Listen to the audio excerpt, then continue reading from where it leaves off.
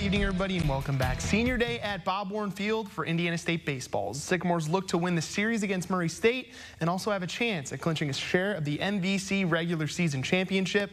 Seth Gergely, Connor Fenlong, Miguel Rivera, Lane Miller, and Keegan Watson all honored before the game. And with it being Mother's Day and Senior Day, the moms of all the seniors got to throw out that ceremonial first pitch. Sycamores get on the board in the first as Miguel Rivera lines it into left field for a base hit. Adam Pottinger comes across to score. He scores on the RBI single as ISU takes a 1-0 lead. In this one, it would stay a one-run game until the fourth when Keegan Watson steps to the plate and hits one deep to left. It one hops the wall. His RBI double gives the Sycamores a two-run lead in the fourth inning, but the big hit in this game belonged to Mike Sears. As he steps up to the plate, also in the fourth inning, he lines this one deep to left field, and it's going to get over the wall. It's out of here for a three-run homer. His 16th round tripper of the year gives Indiana State a 5-0 lead, and the Sycamore bullpen would come in and close out the win as Indiana State wins by a score of 5 nothing 6-2. It's the eighth consecutive conference series win for the Sycamores, and with today's win, Indiana State clinched at least a share of the MVC regular season title.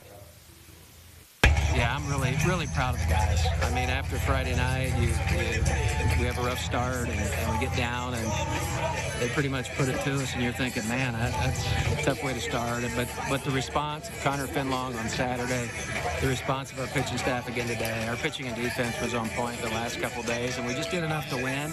And that's kind of been the mode of our season so far, just figure out a way to win.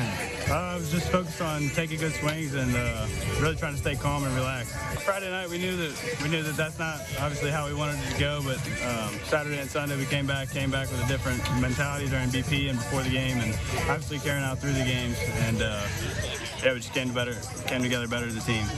For me, I mean, we don't have to compete. I got to do my job. I mean, Saturday we come out Friday, lose that one, and my job is to get us on back on track and leave it to today to decide for the series. Biggest thing is just dominating that Saturday start, going out there, competing, doing my thing, and just get us get us a win.